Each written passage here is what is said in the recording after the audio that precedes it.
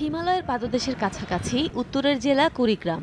গত দুদিন ধরে আকাশে মেঘের আনাগোনায় সূর্যের মুখ ঠিকমতো দেখা যাচ্ছে না। আলোয় পাওয়া যাচ্ছে না কাঙ্ক্ষিত উত্তাপ। কমে আসছে দিন ও রাতের তাপমাত্রার ব্যবধানও। ফলে নদ নদী তীরবর্তী এলাকায় শীত অনুভূত হচ্ছে বেশি। এই অবস্থায় ক্রমেই দুর্ভোগ বাড়ছে হতদরিদ্র মানুষের।